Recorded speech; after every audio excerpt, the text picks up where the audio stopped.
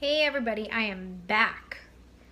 So I just took a second to prep everything. We have, um, for those of you that didn't see my last video, I am making egg roll soup in the Instant Pot. Uh, I had a question on my last video. The Instant Pot is a pressure cooker. It is amazing. It is my new life. I have two of them. I love them so much. I want to kill them. Eloise would like to join in. Yes, Eloise. Say hi. We're going to. I I hope my mommy make carrots and I gave her my mouth and I cut them up on my spoon, my fork also, but I cut it out of my mouth. Yep. And now then go feed up my mouth. Awesome. Okay, now Mama's gonna show them how to cook the soup. Okay. And now roll. Everybody's saying hi to you. Okay, so Instant Pot. It's a pressure cooker. It saves my time, saves me time with stuff. Um, for those of you that missed.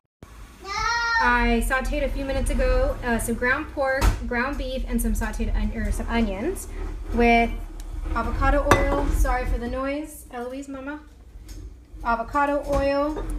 In a few minutes, I'm gonna add some garlic, onion, Chinese five spice, and ginger. Love Primal Palette seasonings. They're super clean. What is in there is all that is in there. Um, and I love Simply Organic because these are all gluten free um, and celiac friendly for Eloise and I. So, okay, for those of you who joined us, I am making egg roll soup. This is it. It's gonna be so good. I'm so excited.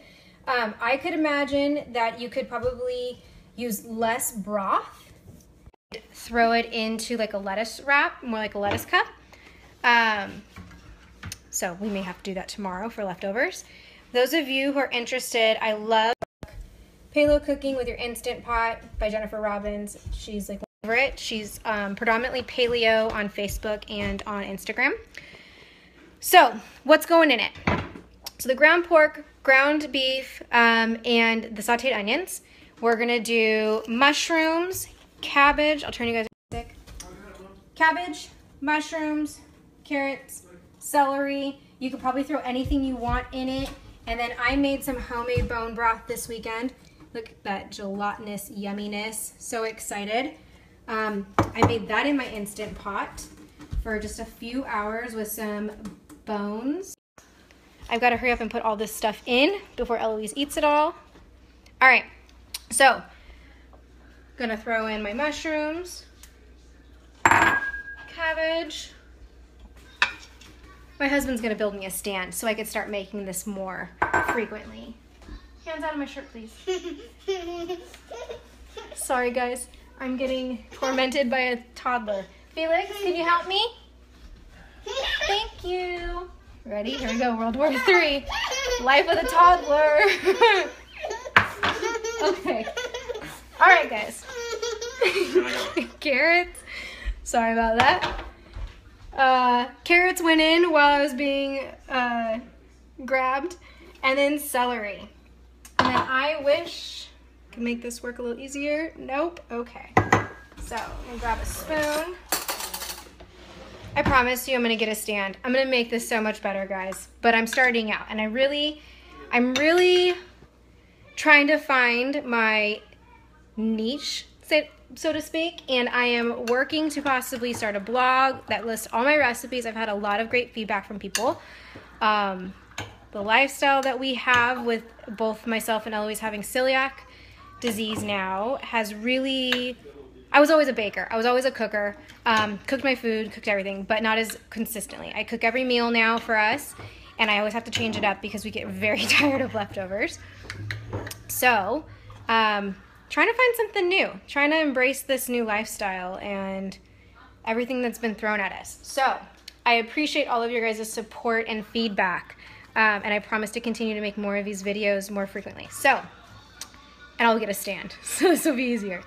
All right, so I mixed up some of this bone broth so I could pour it in. Because it is so concentrated, I am probably only going to use a jar and then I'm going to add some filtered water um, because it will still give it the flavor. Bone broth is super healthy for you. Um, this stuff that you see is essentially the collagen taken out of the bones that I reduced down and cooked. It's really good for your body, for your skin, for your hair, to heal your gut, which is what we're always in a mission to do in this house. Um, all right. Gonna add in my onion. I season to taste. I don't season per measuring half the time. Um, let's do this. You guys don't need to see me. Let's do this. So I did onion, garlic. I'm gonna add a little tiny spice spice, not much because it's a new spice for our family and I don't want any allergic reactions. We obviously eat pho, so it's in there all the time. But we are huge ginger people, super good for the gut. So I'm adding in tons of ginger. And I'm going to come over here to my sink. Our water is filtered in our house, so I just grabbed water from my sink. Sorry for the uh, stains in the sink. All right, and I'm just gonna add a little bit in there. That bone broth is gonna liquefy, so I'm not worried about adding more liquid. Um, oh, you know what we forgot? The sea salt. And look at my new pantry I just built, guys. So exciting. It's heaven. Super heaven. It was my project all weekend, and it has made my life so much easier. Because like I said, I live in my kitchen. So, adding in my pink salt. All right. Latching it closed, making sure it's in the sealed mode. And then look at this. Instant Pot, 15 minutes. Let's adjust it. Let's add it to 20. And I will check back in with you guys when it is finished. So the Instant Pot is going to take about um, probably 15 minutes to pressurize and then 15 minutes to cook. Um, so always take that into consideration whenever you are cooking in this thing. I use it for everything. I bake in it, I make bone broth, I heat, I steam vegetables, I make spaghetti squash in it, white rice, five minutes, guys, six minutes at the most for like two, four, two to four cups. Um, I do everything in it. I can cook frozen chicken breasts. I've told people this before. Um, I had six frozen chicken breasts in the freezer one night, came home, had nothing to make, and like I told you, I've got to cook everything at home for the most part. I don't have convenience foods that we can go grab. Um, threw it in there with a little bit of water, seasonings, and it was cooked in 30, 25 minutes at the most. Um, and we had shredded chicken. Threw them in some tortillas, threw it in lettuce wraps, threw it on a salad. Um, you could do anything. I also make chicken like that. And oh, you totally need this, Laura. Totally need it. Um, I think it's $99 on Amazon Prime right now, which is a great deal. So take a look. Um, they typically go on sale around Christmas, um, all the major holidays. So maybe Memorial Day they'll have a sale, but always keep an eye out and I'll send you a link if I see one. Um, like I told you, I've got two. And so on the weekends, I will put, um, I'll alternate them. So I'll do black beans in one while rice is cooking in the other. I'll do meat and I alternate. Each one has probably three or four meals in it in just a one day while I'm at, by a uh, meal prep and batch cook. Um, I do have a crock pot, still love it, but it does the same thing just in faster time.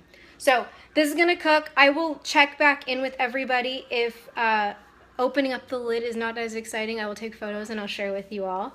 Um, I will also post this recipe um, on this video. So you guys can check it out, try it out yourselves.